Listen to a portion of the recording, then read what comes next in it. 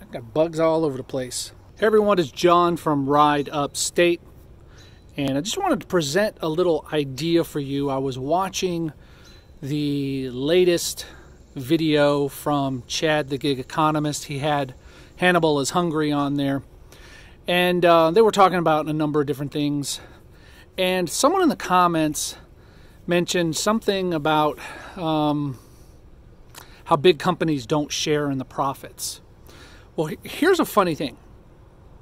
I used to work for the oldest bank in the United States. Um, you can look it up which one it is. Uh, I worked for that bank, and every year, if the company as a whole met certain profit goals and performance goals, everyone got a bonus. And we got that bonus in stock. And we had the option of holding on to that stock, or we could sell up to half of it and take money right away. So, what if companies like DoorDash and Lyft and Uber and Grubhub, any of these companies that are public, what if after you hit a certain performance benchmark, let's say a thousand deliveries or a thousand trips, whatever the case may be, you get 10 shares of stock. And from there on, every thousand you get another 10 shares or five shares or whatever the case may be. I think this would be a good way to reward the people who perform well on the platforms, who are out there hustling, and who are trying to make this thing work. You see, right now, none of these platforms acknowledge us except for giving us little digital stickers and things like that in the app. And that's just, you know, come on. We're, this isn't kindergarten. I don't need a star on my uh, on my uh, paper. What I'd rather have is a piece of the company. People who were part of DoorDash, Uber, Lyft before they went public, they helped get the company to the point where they could go public. What reward did they get? They got nothing. They got an offer to buy stock, I'm sure.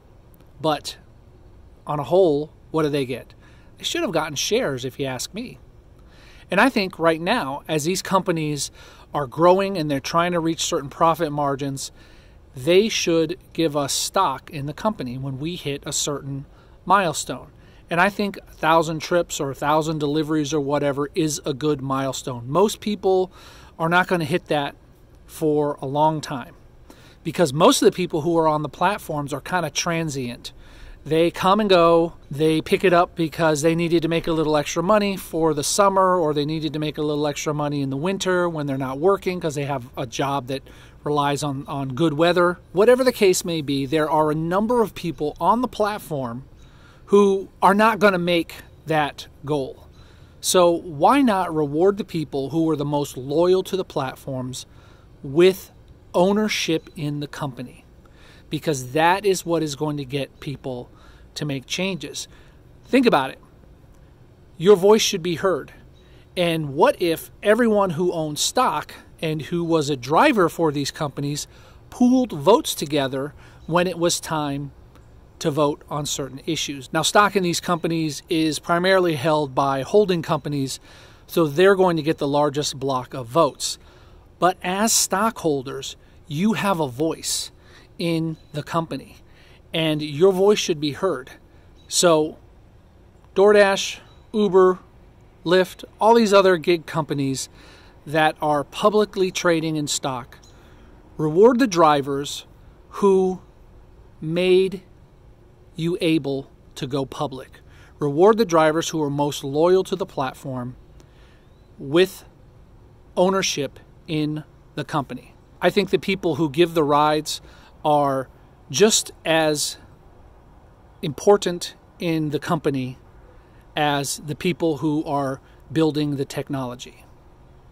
That's all I have for this video. Thanks for watching. My name is John from Ride Upstate, reminding you that just because you're in a small market doesn't mean you need to settle for small profits. Bye.